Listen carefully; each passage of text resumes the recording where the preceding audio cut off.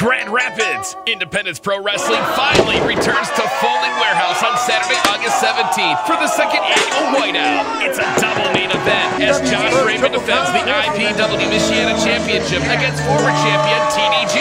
And two championship belts hang above the ring as the specimen Chad Alpha and the infamous Jumal Kyng compete in a ladder match to determine the IPW champion. Tickets are available on Eventbrite starting at just $20 and all ages are welcome.